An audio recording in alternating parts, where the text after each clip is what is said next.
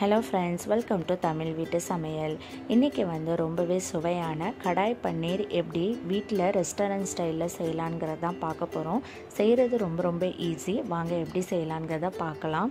இதுக்கு வந்து ஒரு மசாலா வந்து ஃப்ரெஷ்ஷாக நம்ம அரைச்சிக்க போகிறோம் அதுக்கு ஒரு டேபிள் ஸ்பூன் முழு மல்லி ஒரு டீஸ்பூன் சீரகம் ஒரு டீஸ்பூன் பெருஞ்சீரகம் ஒரு பட்டை ஒரு கிராம்பு ரெண்டு ஏலக்காய் கொஞ்சமாக பிரிஞ்சி இலை அரை டீஸ்பூன் அளவுக்கு முழு மிளகு எடுத்துக்கோங்க. இப்போ இது எல்லாத்தையும் வந்து ஒரு கடாயில் ஆட் பண்ணிக்கலாம். மீடியம் லெவல் ஹீட்டில் வச்சு நல்லா வாசனை வர்ற வரைக்கும் நல்லா ட்ரை ரோஸ்ட் பண்ணி எடுத்துக்கோங்க.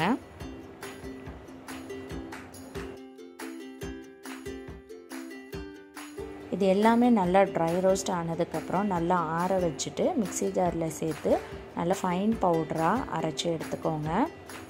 இப்போ எப்படி செய்யலாங்கிறத பார்க்கலாம். நான் அதே கடாயில் ரெண்டு டேபிள் ஸ்பூன் எண்ணெய் சேர்த்துருக்கேன். எண்ணெய் காஞ்சதுக்கப்புறம் ஒரு பெரிய வெங்காயம் ரெண்டு மீடியம் சைஸ் தக்காளி நாலஞ்சு பல் பூண்டு ஒரு சின்ன சைஸ் இஞ்சி. இது எல்லாத்தையும் அந்த எண்ணெயில் சேர்த்துடலாம். சேர்த்து நல்லா வதக்கி விட்டுருங்க. அந்த தக்காளிலாம் நல்லா மசிஞ்சு வரணும். ஸோ அதனால் ஒரு மூடியை போட்டு மூடி வச்சிடலாம். மீடியம் லெவல் ஹீட்டில் ரெண்டுலேருந்து மூணு நிமிஷம் வரைக்கும் நல்லா வதங்க விட்டுருங்க. இப்போ பார்த்திங்கன்னா இது எல்லாமே நல்லா வதங்கிருச்சு. இப்போ கேஸை ஆஃப் பண்ணிவிட்டு நல்லா ஆற வச்சுருங்க. ஆறுனதுக்கப்புறம் மிக்சி ஜாரில் சேர்த்து நல்லா ஃபைன் பேஸ்ட்டாக அரைச்சி எடுத்துக்கோங்க. நான் அதே கடாயில் மூணு டேபிள் ஸ்பூன் எண்ணெய் சேர்த்துருக்கேன். அதில் அரை டீஸ்பூன் மஞ்சள் தூள் ஒரு டேபிள் ஸ்பூன் அளவுக்கு மிளகாய் தூள் சேர்த்துக்கோங்க. இது ஏன் எண்ணெயில் ஃபஸ்ட்டே நம்ம சேர்க்குறோம்னா கிரேவி வந்து நல்லா கலராக கிடைக்கும். அதுக்காக தான் ரொம்ப சிம்மில் வச்சு இந்த பொருள்லாம் ஆட் பண்ணிக்கோங்க. இப்போ இதில் வந்து வெங்காயம் சேர்த்துக்கலாம். வெங்காயம் வந்து ஒரு பெரிய வெங்காயத்தை நல்லா இந்த மாதிரி க்யூப் க்யூபாக வெட்டிக்கோங்க. அதே மாதிரி கொடை மிளகாயும் க்யூப் க்யூபாக வெட்டி சேர்த்துக்கோங்க. ஒரு ரெண்டு நிமிஷம் அந்த எண்ணெயில் நல்லா வந்து வதக்கி விட்டுருங்க.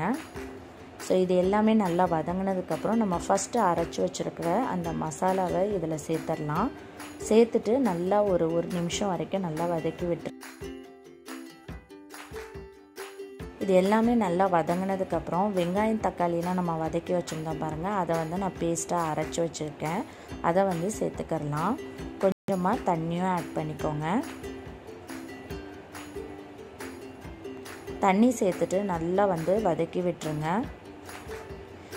இப்போ இதை மூடி வச்சிடலாம். மீடியம் லெவல் ஹீட்டில் ஒரு அஞ்சு நிமிஷம் வரைக்கும் நல்லா கொதிக்க விட்டுக்கோங்க.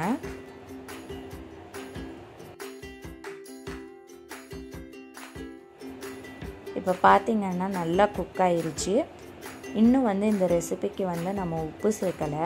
ஸோ டேஸ்ட்டுக்கு ஏற்ற மாதிரி உப்பு ஆட் பண்ணிக்கோங்க. சேர்த்துட்டு நல்லா வந்து மிக்ஸ் பண்ணிக்கோங்க. இப்போ இந்த டைமில் பன்னீர் வந்து நம்ம ஆட் பண்ணிக்கிறலாம். நான் இரநூறு கிராம் பன்னீரை வந்து இந்த மாதிரி பெருசு பெருசாக வெட்டி வச்சுருக்கேன். அதை வந்து சேர்த்துக்கிறலாம்.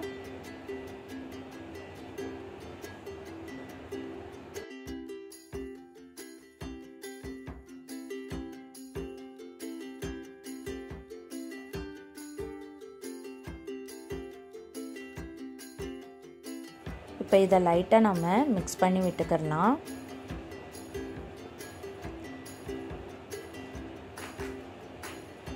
இப்போ இதை மூடி வச்சு மீடியம் லெவல் ஹீட்டில் ரெண்டுலேருந்து மூணு நிமிஷம் வரைக்கும் நல்லா குக் பண்ண விட்டுருங்க.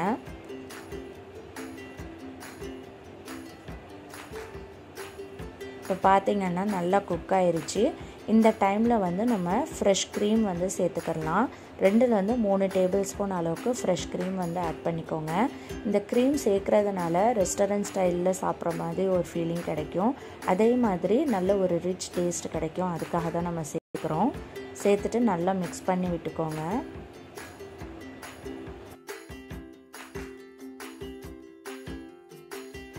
க்ரீம் சேர்த்ததுக்கப்புறம் ரொம்ப அதிக நேரம் நம்ம குக் பண்ணக்கூடாது. ஸோ அதனால் இந்த டைமில் நம்ம கொஞ்சமாக கொத்தமல்லி தலை தூவிக்கிடலாம்.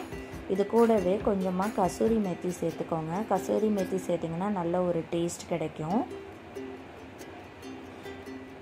இப்போ லைட்டாக நம்ம மிக்ஸ் பண்ணி விட்டுக்கலாம். ஸோ அவ்வளோதாங்க ரொம்பவே டேஸ்டியான நல்ல ரிச்சியான க்ரீமியான கடாய் பன்னீர் வந்து ரெடி ஆயிடுச்சு இது வந்து சப்பாத்திக்கு பரோட்டாக்கு பூரிக்கு ரொம்ப சூப்பராக இருக்கும்.